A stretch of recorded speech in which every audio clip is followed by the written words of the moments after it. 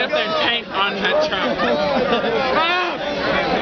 Double team and just crowd dive.